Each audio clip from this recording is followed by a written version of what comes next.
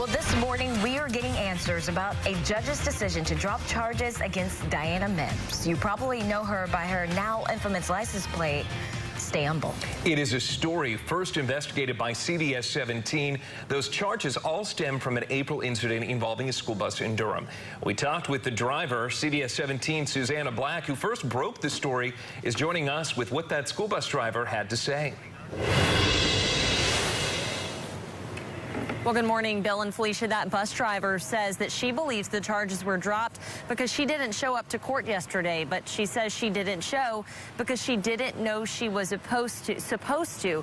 We spoke with the district attorney's office, and they said that they wanted to continue the case, but the judge said no and ultimately dismissed those charges. Now, I want to show you video from the encounter that that bus driver had with Diana Mims. This quickly went viral after it was posted on Facebook.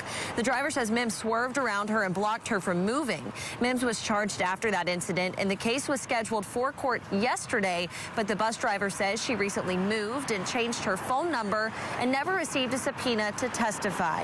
Now that prosecutors have the correct information to contact her, she is hopeful prosecutors will charge Mims again so she will get the chance to confront her in court.